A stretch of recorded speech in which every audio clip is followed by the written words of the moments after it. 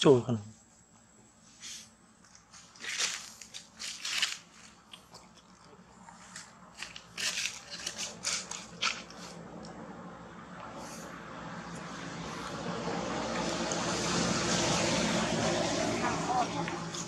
mắt bàn tay không